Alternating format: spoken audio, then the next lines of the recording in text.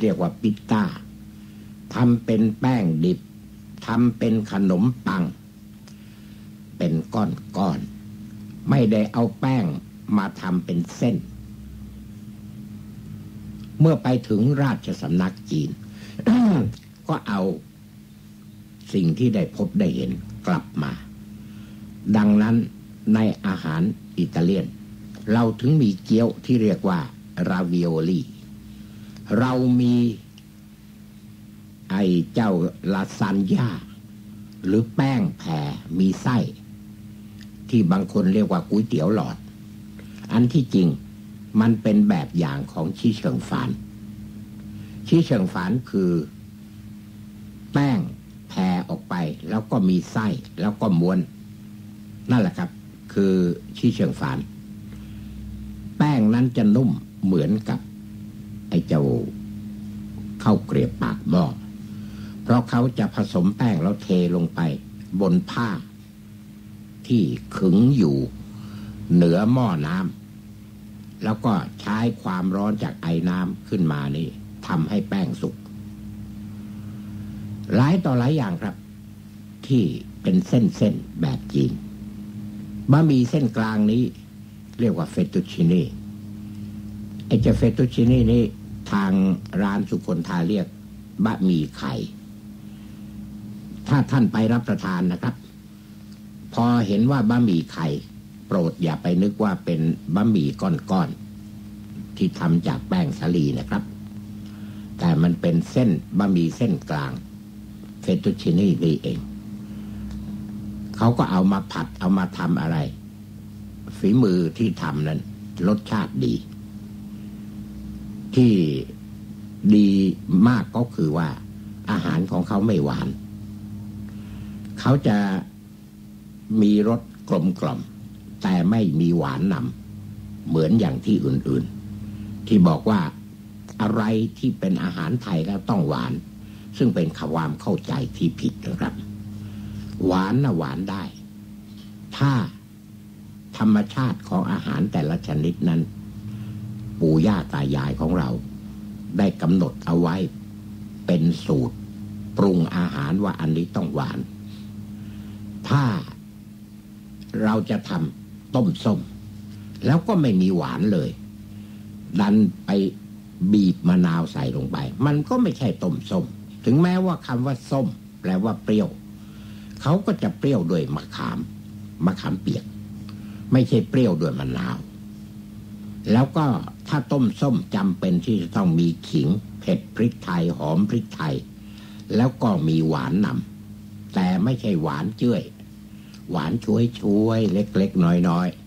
ๆ นั่นก็เป็นธรรมชาติของอาหารแต่ละอย่างแต่ละอย่าง ไม่ใช่เอะอะอะไรเนี่ย แม้กระทั่งแกงเผ็ด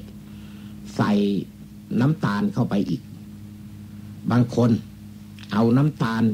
สายขาวใส่ลงไป มันก็ไม่เข้ากัน เพราะว่าแกงกะทินั้นน้ำตาลต้องเป็นน้ำตาลปึก เพราะมาจากมะพร้าวมาจากต้นตาลอย่างเดียวกัน เรื่องนี้พูดกันนานครับ ผมก็ดูรายการที่ทำกับข้าวในตอนเช้า ก็ดูดูผ่านผ่านไป แล้วก็ เออนึกชื่นใจว่า บรรดาดาราทั้งหลายแหล่นั้น ก็มีอาหารที่ตัวเองชอบแล้วก็มาแสดงวิธีปรุง อาจจะเคอะเขินไปได้ไปบ้าง แต่ก็ไม่เป็นไร เพราะว่าคนไม่ได้มีอาชีพทางนี้ จะให้มันละเมียดละไมเหมือนอย่างที่คนเขาเคยทำอยู่ตลอดเวลาได้ยังไงจริงไหมครับ มีการคิดถึงเกี่ยวกับเรื่องอาหารได้ ออกมาโชว์เรื่องอาหารได้นี่ก็ แหมเป็นบุญเป็นกุศลแล้วจริงไหมครับ ในตอนค่ำมีวายเทสติ้งที่ซอยร่วมฤดี คราวนี้เมซองดูแวงซึ่งอยู่ที่พหลโยธินเพลส ชั้นสามถนนพหลโยธิน ก็เชิญไปเทสไวน์ที่สั่งมาจากสเปน แล้วก็มีอีกสักสองสามชนิด รวมทั้งหมดก็เป็นแปดชนิด มีทั้งวายขาวและวายแดง ปรากฏว่ามีวายขาวที่อร่อยมาก ทุกคนลงความเห็นว่าอร่อย มีวายแดงรสดีมาก ซึ่งปรมาจารย์ทางด้านวายคนหนึ่ง อาจารย์วิสิตศึกษาก่อน ก็ไปร่วมเทสกันอยู่ด้วย มีอะไรดีๆ แยะนะครับ ที่เมซองดูแวง แล้วก็ผมจะเรียนให้ทราบสำหรับท่านที่เป็นคอวายแหมทุกวันนี้นับตั้งแต่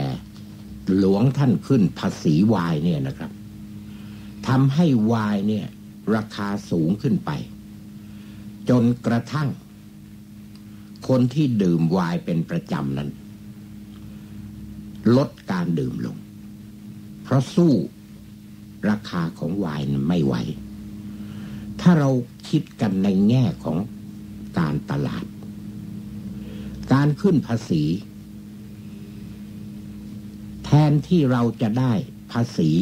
มาก กลับได้ภาษีลดลง ถึงแม้ว่าขึ้นภาษีแล้วก็ตาม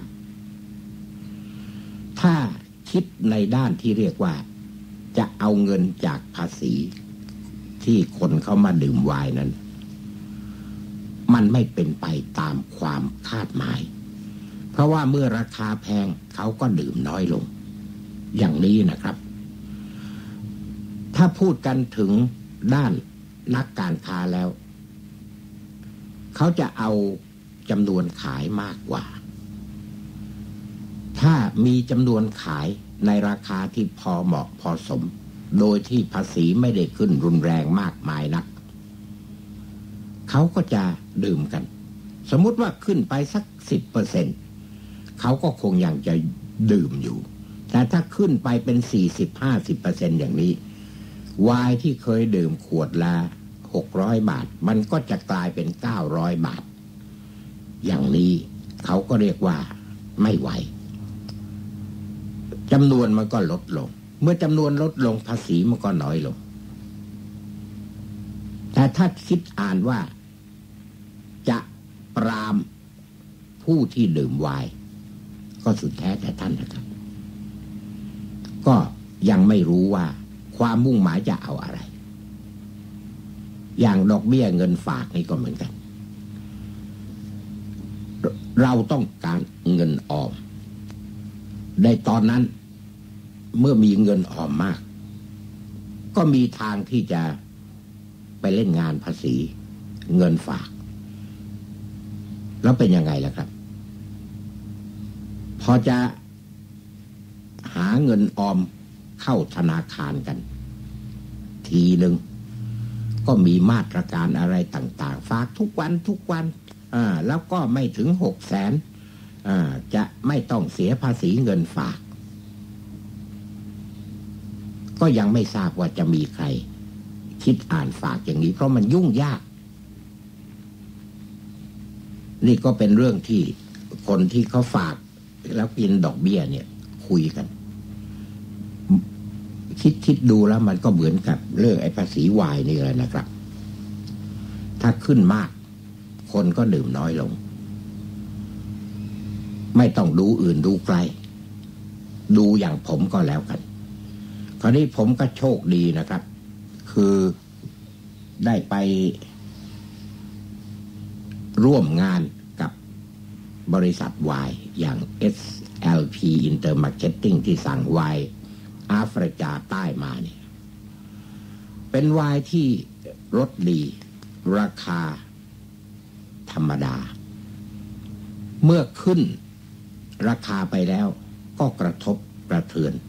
ขึ้นราคานั่นเป็นเพราะว่าภาษีเขาเพิ่ม ก็กระทบกระเทือน แต่สนนราคานั้นยังเป็นร้อยอยู่ ไม่เป็นพันขึ้นไป เหมือนอย่างวายฝรั่งเศส ก็พอที่จะรับประทานได้ แต่ก็ต้องลดการดื่มลงไป ให้มันอยู่ในงบประมาณที่เราพอจะจ่ายได้ มิฉะนั้น วายแดงที่มีประโยชน์ ลดคอเลสเตอรอลทำให้ท่อทางของโลหิตนั้นแหมดี อะไรอะไรดีไปหมดนั้น มันก็จะทำให้เราเกิดเป็นโรคอย่างหนึ่ง ถ้าเราดื่มมาก โรคนั้นคือโรคล้มละลาย คือดื่มจนเป็นหนี้เป็นสิน มันก็ต้องลดลง ตามสมควร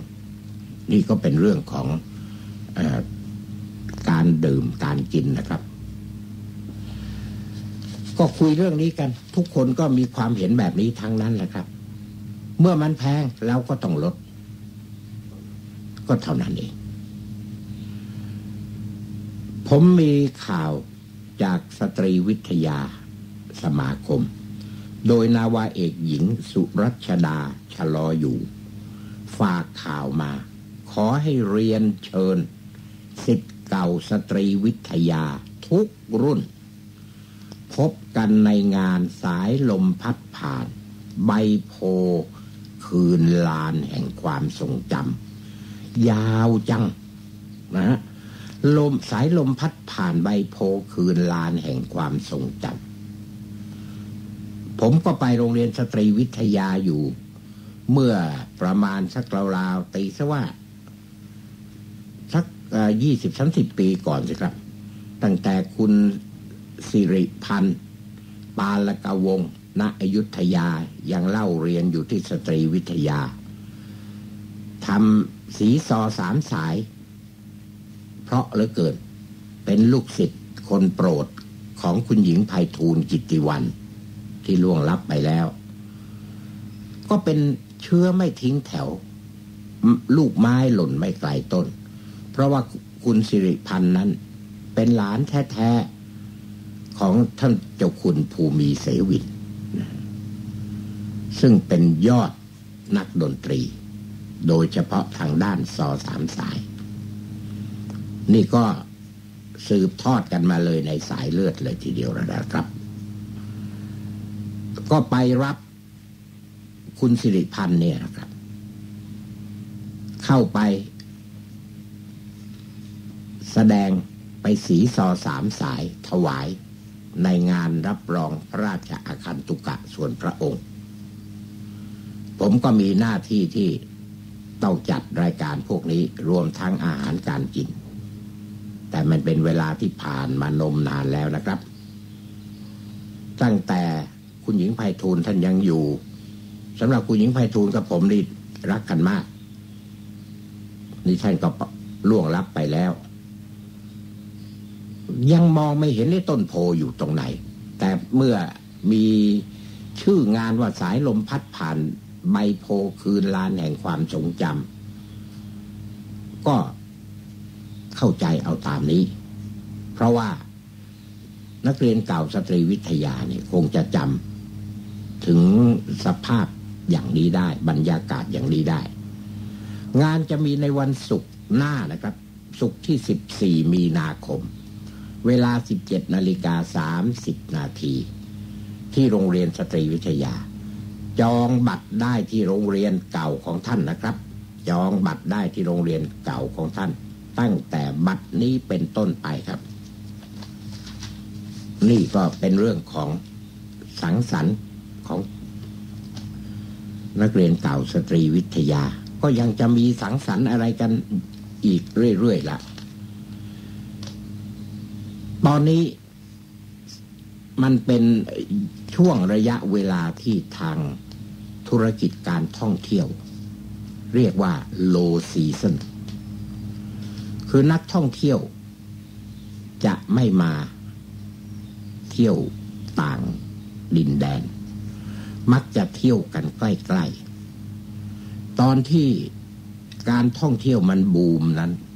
ก็เป็นเพราะว่าทางยุโรปมันหนาวจัด คนยุโรปนักท่องเที่ยวจากยุโรปก็หนีหนาวเหมือนกับนกที่บินมาจากไซบีเรีย นี่ก็บินมาจากยุโรปมาเที่ยวที่ภูมิภาคที่มีอากาศอบอุ่น แสงแดดแจ่มสบาย แต่พอถึงเดือนมีนาคม ก็เป็นเวลาที่หิมะละลาย ต้นไม้ต่างๆ ก็กำลังผลิใบ ปลายเดือนนี้ ต้นไม้หลายอย่างที่เป็นไม้ดอก ก็จะผลิดอกออกมาให้เราได้ชม โดยเฉพาะ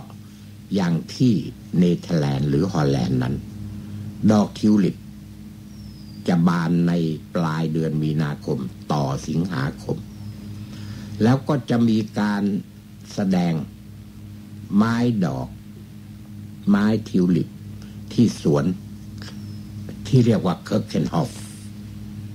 ที่เนเธอร์แลนด์ ท่านจะเห็นทิวลิปสีต่างๆ อยู่บานสะพรั่ง เต็มสวนสุดสายตา แล้วก็ถ้าท่านไปเที่ยวก็อาจจะไปได้ดูการประมูลไม้ดอกต่างๆ นานาที่อัลสเมีย นั่นก็เป็นฤดูใบไม้ผลิที่นักท่องเที่ยวในยุโรปก็จะเที่ยวอยู่ในแถบใกล้ ๆ นั้น ไม่ได้มาไกลเหมือนอย่างนี้ ทางโรงแรมและกิจการการท่องเที่ยว ก็ลดจำนวนนักท่องเที่ยวลงไป เพราะอยู่ในช่วงโลซีซั่นที่ว่านี้นะครับ ก็ต้องทราบกันไปด้วยว่าถ้าไม่เห็นฝรั่งมาอยู่เต็มถนนนี่ ก็จะมาถึงเวลาที่เขาเรียกว่าโลซีซั่นครับ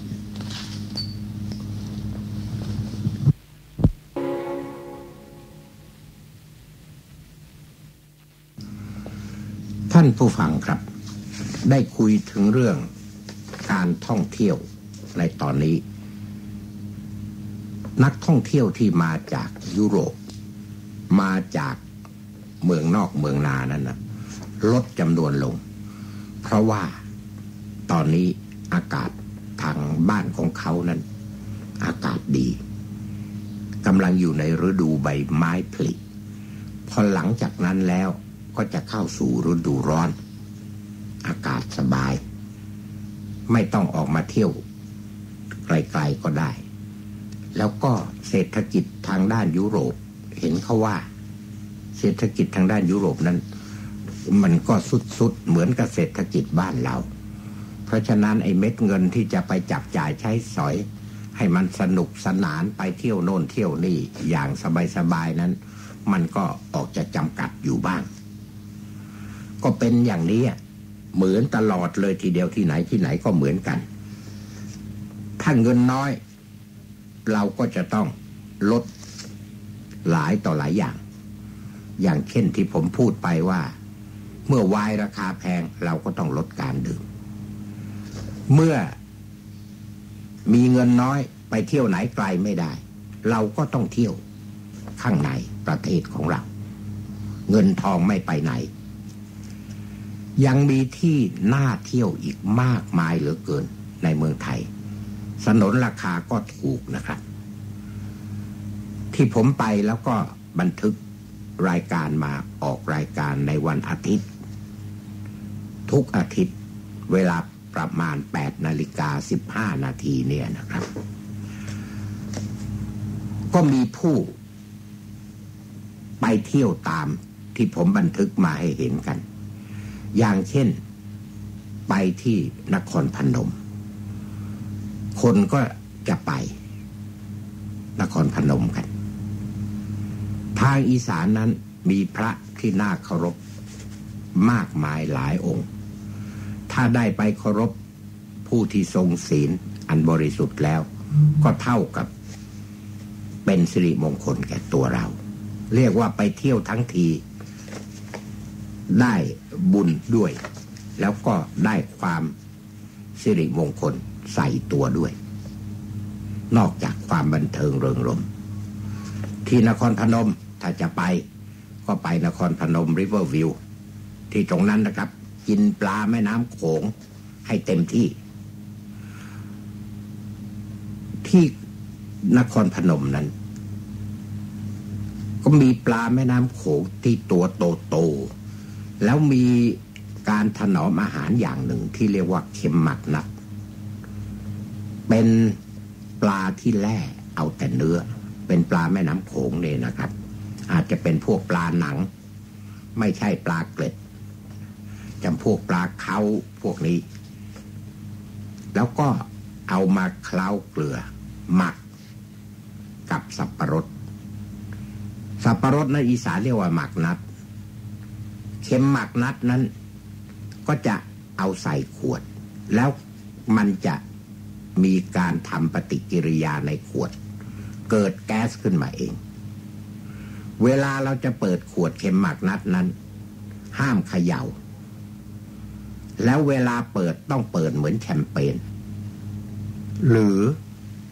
เปิดโซดา ถ้าเขยา่าเขย่าแล้วเปิดปั๊บแก๊สมันจะดันออกมากลายเป็นน้ำพุ เปรอะเปื้อนไปหมด ต้องค่อยๆเพเยอทีละน้อย ทีละน้อยให้แก๊สมันออกมา จนกระทั่งหมดแล้วถึงจะเปิด นั่นเป็นเคล็ดลับของเข็มหมักนัด เข็มหมักนัด ที่ทางหัวเมืองริมฝั่งโขงเขาทำกันเนี่ยนะครับไม่ว่าจะเป็นอุบลไม่ว่าจะเป็นนครพนม มุกดาหาร เอามาหล่นอร่อยนักหนาเลยทีเดียว อร่อยจริง ๆ ส่วนที่มุกดาหารนั้น ไปอยู่ที่โรงแรม มุกดาหารแกรนด์โฮเทลนะอาหารการกินเพียบ ปลานึ่งกับผัก ปลาเนื้ออ่อนเนี่ยตัวเบ้อเร่อนึ่งกับผัก แล้วก็มีแจ่วซึ่งเผ็ดจัด จนกระทั่งเรารับประทานเข้าไปสองสามคำ เหงื่อกาฬจะไหลท่วมตัวทำให้ผมเรียกว่าแหมกินปลานึ่งจิ้มแจ่วที่มุกดาหารแกรนด์โฮเทลนี่เหมือนกับเข้าไปนั่งรับประทานในห้องอบซาวน่า ก็เลยเรียกแจ่วซาวน่าให้มันรู้แล้วรู้รอดไป ยิ่งไปกว่านั้นเราก็ไปที่แก่งกระเบา ไปรับประทานหมูหัน หมูหันที่นั่นน่ะ เวลาเขาหันจนกระทั่งหนังกรอบแล้ว เวลาจะเอามาเสิร์ฟเขาจะแซะหนังนะฮะออกมาก่อน แล้วก็เอามันนั่นน่ะ ออกไปเป็นบางส่วน ซึ่งมีไม่มากไม่มายนักหรอกครับ แล้วก็เอาหนังมาปิดตามเดิม แล้วก็หันมาเป็นชิ้นชิ้นมันอร่อยอย่าบอกใครเลยทีเดียว เพื่อนของผม พอได้เห็นเข้าเท่านั้นทั้งๆทที่ตัวเองก็ไม่สมประกอบ คือมีอาการอัมพฤกษ์เดินเหินไม่ถนัด สั่งให้ลูกหลาน เอารถตู้ออก แล้วก็ขึ้นรถตู้ มุ่งหน้าไปเลยทีเดียว ไปมุกดาหาร แล้วไปไปรับประทานหมูหัน ไก่หันที่แก่งกระเบา กลับมาแหนยิ้มเลย บอกอร่อยอร่อยมาก ที่กินที่เที่ยวของเรานี่มีอีกมากมายเยอะแยะเลยทีเดียวครับออย่างผมขึ้นไปทางฝางเนี่ย ก็มีคนถามมา บอกว่าในตอนนี้ ลิ้นจี่สุกหรือยังโอ้ลิ้นจี่ยังไม่สุกครับ ในเดือนพฤษภาคม วันที่สิบห้าพฤษภาคม ในตอนนั้น จะเป็นช่วงระยะเวลาที่ลิ้นจี่สุกทั่วกัน เกือบทั้งหมด กลางเดือนพฤษภาคม บวกลบเจ็ดนะฮะก่อนหน้าเจ็ดหลังเจ็ดอะไรอย่างนี้ ลิ้นจี่พันเบา อย่างพวกคงหวยนะฮะพวกนี้จะสุกก่อน พอเรื่อยไป เดือนมิถุนาเราลาวกลางเดือนอะไรนั้น พันหนักอย่างพันจักกรพัดกุยบี้พวกนี้ก็จะสุก ตลอดระยะเวลาสองเดือนนั้นท่านจะมีลิ้นจีรับประทาน และถ้าพูดถึงลิ้นจีทุกคนก็จะมุ่งไปที่ท่าตอนอำเภอฝาง อันที่จริงเขาไม่ได้อยู่อำเภอฝางนะ เขาอยู่อำเภอแม่อายนะฮะท่าตอนนี้ ทางไปง่ายที่สุดก็คือ ขึ้นเครื่องการบินไทยไปลงที่เชียงราย แล้วก็มีรถยนต์จากสนามบินเชียงรายมายังท่าตอน ผ่านดอยแม่สลอง ทางขึ้นดอยแม่สลอง ซึ่งเป็นที่เที่ยวอีกแห่งหนึ่ง ระยะทางจากสนามบินถึงท่าตอนก็ 92 กิโลเมตร ที่ตรงนั้นมีบ้านพักเป็นหลังๆ มี air condition น้ำร้อนน้ำเย็น พร้อมอยู่ริมแม่น้ำกก ตอนติดกับเขตแดน เดินออกมาที่ระเบียงบ้านมองเห็นภูเขากั้นดินแดนระหว่างไทยกับพมา่า อยู่ใกล้แค่เอื้อมอาหารที่นั่นอร่อยอีก ไก่ทอดหนังกรอบ รับรอง เป็นอาหารที่ท่านจะต้องสั่ง สั่งมารับประทานให้จงได้ แล้วก็มีของอร่อยอีกหลายต่อหลายอย่าง เอาแต่ไอของเยี่ยมเยี่ยมมาเล่าให้ฟังให้น้ำลายไหล นี่ก็เป็นที่เที่ยวอีกแห่งหนึ่งที่ท่าตอน เด็กนักเรียนที่กำลังสอบตอนนี้ ผมคาดว่าสิ้นสัปดาห์นี้ โรงเรียนก็หยุดแล้วนะครับพอถึงหน้าร้อน ท่านผู้ปกครอง พ่อแม่ ปู่ย่าตายาย ก็อาจจะพาเด็กไปเที่ยว เปิดหูเปิดตา ให้เห็นโน่นเห็นนี่อะไรสบักไม่เหมือนเมื่อสมัยผมยังเป็นเด็ก ปีหนึ่งก็ได้ไปหนหนึ่ง ได้ไปทะเล ไม่ได้ไปไกลอะไรแค่ไหนหรอกครับ ใกล้ที่สุดก็คือศรีราชา แค่นี้ก็ดีถมฐานไปแล้ว ได้เปลี่ยนบรรยากาศ ตอนนี้เงินทองมีมากกว่าเก่า การคมนาคมสะดวกกว่าเก่า เพราะฉะนั้นก็เป็นความสะดวกที่จะพาลูกหลานออกไปเที่ยวเปิดหูเปิดตา ที่ตรงนี้แห่งหนึ่งแล้วนะครับ แต่อีตอนอลิ้นจีสุกเนี่ย โรงเรียนจะเปิดเสร็จแล้วละกระมัง อย่างไรก็ตามยังมีที่เที่ยวอีกหลายต่อหลายแห่ง ที่ผมขึ้นไปดอยอ่างขางนั่นน่ะ ถ้าจะไปท่าตอนก็ไปได้ครับ แต่มันมีระยะทางยาวมาก ถึงฝางก็ประมาณสักราวๆร้อยสามสิบแล้วจากนั้นไปท่าตอนอีกราวๆอีกสามสิบเห็นจะได้นะครับ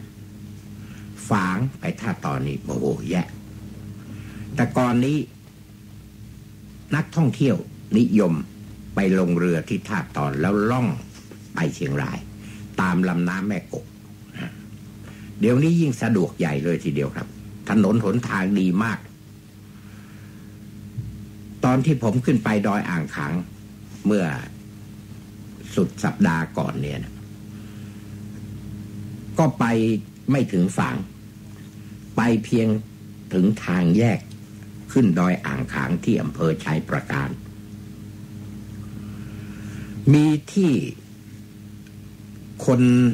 พม่า เข้าเมืองมา มาหางานทำในบ้านเราเนี่ยนะครับ มีอยู่ช่องทางหนึ่ง ก่อนถึงคือถ้าขาไปจากเชียงใหม่ เลยเชียงดาวไป ส่วนขากลับ จากฝางมาเชียงใหม่นั้น ช่องทางนี้เส้นทางนี้จะอยู่ก่อนถึงเชียงดาว เขาเรียกกันว่าหนองอุก พวกนั้นจะเดินมาประมาณสักราวๆเจ็ดวัน พอมาถึงสันเขา เขาก็ข้ามมา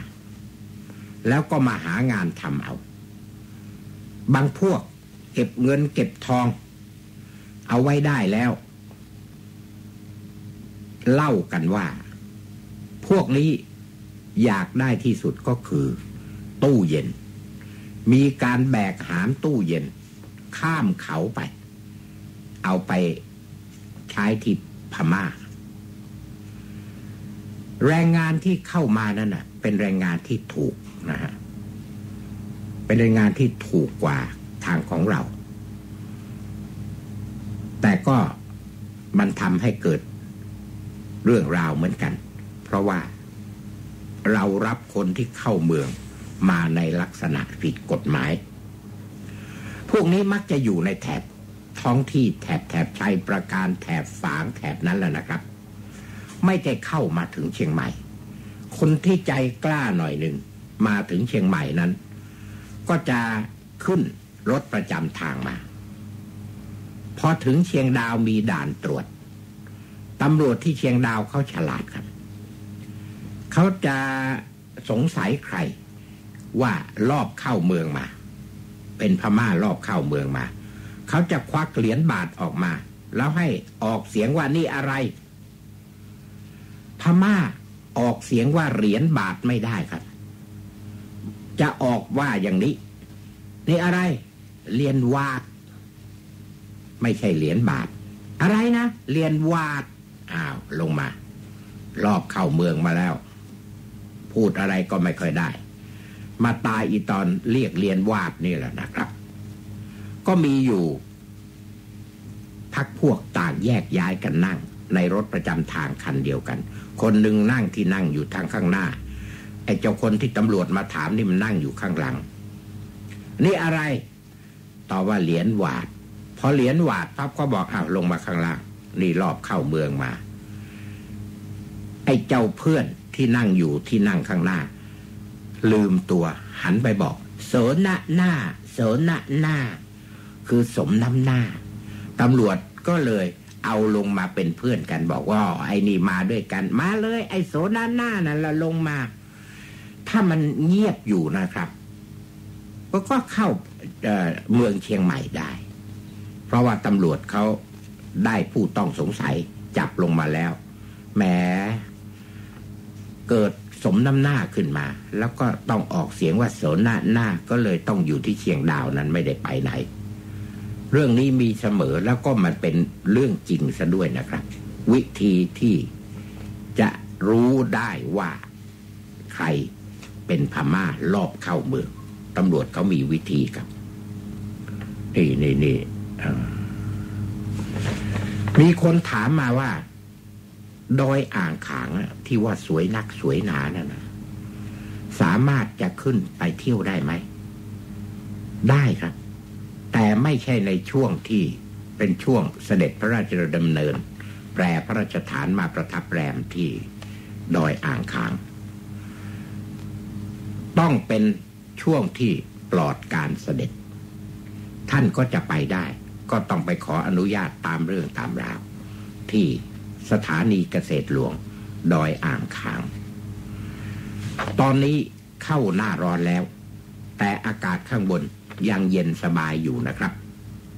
เย็นสบาย ไม่ร้อนรุ่มรุ่มใจ แล้วก็เหงื่อไม่ไหลเหมือนอาบอบสาวหน้าแต่ประการใด พวกไอ สตรอเบอรี่กำลังออกครับสตรอเบอรี่นี้นะครับ ถ้าเป็นสตรอเบอรี่ที่ปลูกในพื้นราบ ก็จะมีการฉีดยาแรงหน่อย เวลาจะเอามาบริโภคต้องมาล้างน้ำแช่น้ำหลายน้ำด้วยกัน เพื่อให้สารพิษตกค้างในผลสตรอเบอรี่มันลดลงน้อยลง จนไม่เป็นอันตรายต่อเรา บางคนที่แพ้กัดสตรอเบอรี่เข้าไปอาเจียนออกมาทันทีเลยทีเดียวครับ เพราะว่าไอริทของไอยาฆ่ามาแมลงทีนี้ก็มีข้อถามว่าเราจะรู้ได้ไงว่า สตรอเบอรี่ที่ไหนปลอดสารพิษ ขอเรียนว่าที่ทางเหนือนั้นน่ะถ้าเป็นสตรอเบอรี่ที่ปลูกในที่สูงอย่างแถวแถวเสมิงนะแถวแถวเสมิง แถบนั้นแหละครับ จะปลอดภัยหน่อย เพราะว่าผู้ที่ปลูกนั้นจะปลูกตามหลัก ที่ทางเจ้าหน้าที่เกษตรเขาแนะนำควรจะฉีดแค่ไหน ควรจะหยุดฉีดเมื่อไหร่ ก่อนที่จะเก็บผลสตรอเบอรี่ลงไปขายที่ตลาด ก่อนกี่วันจำนวนของสารพิษตกค้างมันก็จะน้อย อย่างไรก็ตาม ผมขอแนะนำว่าที่สนามบินเชียงใหม่เนี่ยนะครับ มีร้านของโครงการหลวงอยู่ ที่ตรงนั้นครับ ท่านไปหาซื้อสตรอเบอรี่เถอะเป็นสตรอเบอรี่ที่ลงมาจากโครงการหลวง ปลูกอยู่ในที่สูง สารพิษตกค้างนั้นมีน้อย ก็จะปลอดภัยสำหรับคนที่ชอบรับประทานสตรอเบอรี่ ผมเป็นคนที่ชอบสตรอเบอรี่เหมือนกัน ขึ้นไปดอยอ่างขางเที่ยวนี้ มีสตรอเบอรี่พันธุ์ใหม่ สีสันไม่สวยครับ ซีดซีดสีซีดซีดไม่ได้แดงฉานอะไรเลย โอ้โห แต่รสชาติมัน หวานดีเหลือเกินตอนนี้ยังไม่มีมากเกินไป แต่เชื่อว่าอีกหน่อยสตรอเบอรี่ไอ้ที่สวย ที่ไม่สวยแต่รสชาติดีเนี่ยก็คงจะออกสู่ตลาด เป็นผลิตผลของโครงการหลวงนะครับ ถ้าจะเลือกซื้อก็เอาอย่างที่ผมเรียนให้ทราบนี้ก็แล้วกัน ก็จะปลอดภัย ส่วนผลไม้อื่น ๆ ในช่วงนี้ มันผ่านพ้นฤดูหนาวมาแล้ว มันก็จะมีภูมิประเทศเท่านั้นที่เราได้ขึ้นไปเที่ยวได้ไปชม ไปสูดอากาศบริสุทธิ์ เพื่อจะได้มีเรี่ยวมีแรงมาสู้มลพิษในกรุงเทพกันอีกต่อไปครับ เท่ากับไปชาร์จแบตเตอรี่ ก็ขอให้ไปเที่ยวให้สนุกสนานนะครับ ผมก็จะไปเหมือนกัน ในวันเสาร์เนี่ยนะวันเสาร์เนี่ยก็จะไปสุโขทัยเพื่อจะไปนมัสการหลวงพ่อศิลาที่ได้คืนมาจากอเมริกาหลังจาก ถูกโจรกรรมไป 20 ปีครับ สวัสดีครับ